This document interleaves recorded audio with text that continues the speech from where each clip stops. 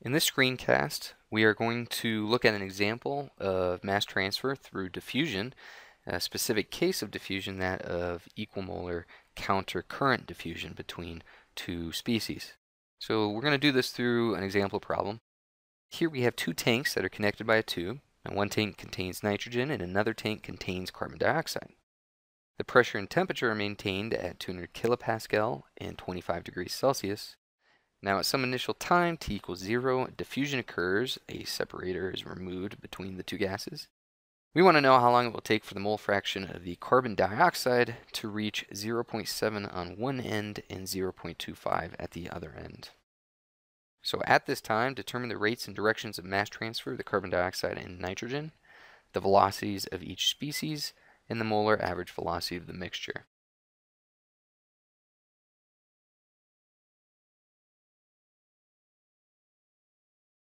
Now even though I drew the separator here in the middle, we're going to pretend that we're using this entire distance. So we're going to assume that the only mass transfer resistance is in the tube. We're going to assume that we have perfectly well mixed ideal gases based on these properties. Because of these, we're going to get equal equimolar counterdiffusion. So we want to know what the mole fraction of nitrogen at 0.1 is going to be 0.7 and when it will also be at 0.2 equal to 0.25.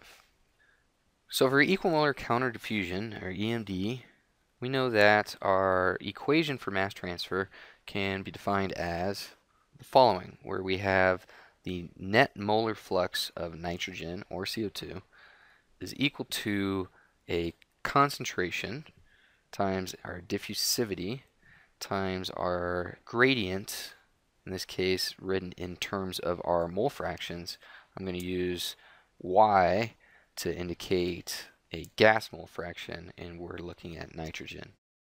So when we do this, there's no bulk flow term. That's been crossed out. This is the equation we use. So basically we want to solve for these variables so that we could determine where we're going to have our mole fractions equal to 0.7 and 0.25. So let's first calculate the area at which this diffuses through. So remember our flux is through some certain area, so we're looking at a cross section of this pipe, and so our area is just going to be equal to pi d squared over 4, and in this case we're told we have a 5 millimeter diameter pipe.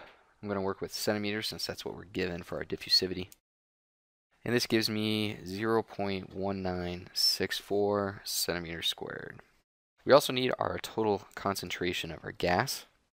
So using our assumption of ideal gas, our concentration C, we could figure out from the ideal gas law P V equals nRT. In this case, we're looking for N over V. This is going to be equal to P over RT. This is going to give me 80.71 mole per meter cubed.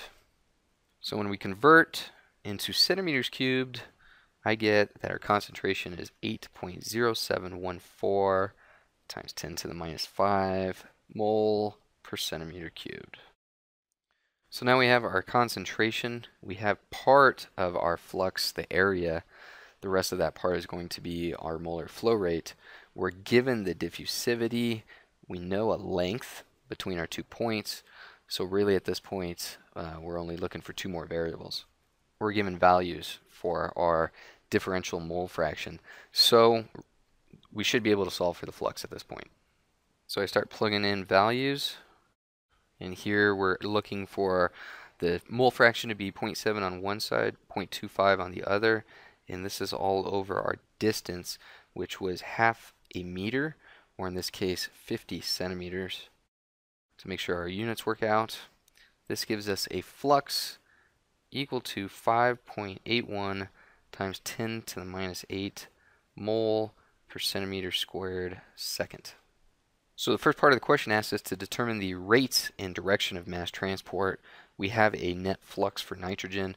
For equimolar counterdiffusion, we know that that net flux must also be the same for the CO2 in the opposite direction.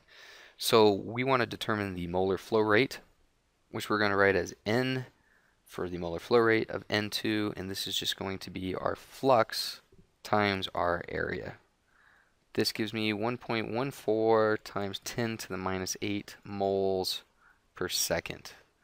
So the molar flow rate of nitrogen is to the left, And therefore, because the equal molar counter diffusion, we'll also have 1.14 times 10 to the minus 8 moles per second for our molar flow rate of CO2, and this is to the right based again on our schematic. So the second part of this was to determine the individual species velocities. And so we know because there's no bulk flow that the species velocity VI is just due to the diffusive velocity of that species. So in this case, if we wanted to determine the velocity of CO2, we could set this equal to our flux of CO2 divided by our concentration of CO2 because we know the velocity times the concentration of the species will give us our flux. We can now rewrite this in terms of things that we already have, our flux of CO2, which we calculated, and then we're going to use the mole fraction of CO2 times the total concentration. So both these values we already have numbers for. So now we could get our species velocity as a function of our mole fraction y CO2. So this is going to give us finally value 7.2 times 10 to the minus 4 over our mole fraction of carbon dioxide. So again, because no bulk flow, nothing else changes. We also know that the velocity of nitrogen is going to have the same equation, except over the mole fraction of nitrogen. So you can see that the velocity does depend on the mole fraction of the species. And that answers the second part of the question. The third part was to determine the average molar velocity of the mixture. And so you could pick a point in our system. Let's just do this for YCO2 equal to 0.7. So that means that our Y of N2 will be 0.3. So if we plug these two values in, and we know that the velocities are in opposite directions, then we could use these values with our two equations to determine that the velocity here for CO2 would be 1.03 times 10 to the minus 3 centimeters per second. The velocity of nitrogen at this point is going to be 2.4 times 10 to the minus 3 centimeters per second. And we're going to indicate that since CO2 is going to the right, this is positive, and for our system coordinates, the velocity of nitrogen is to the left, and we'll say is negative.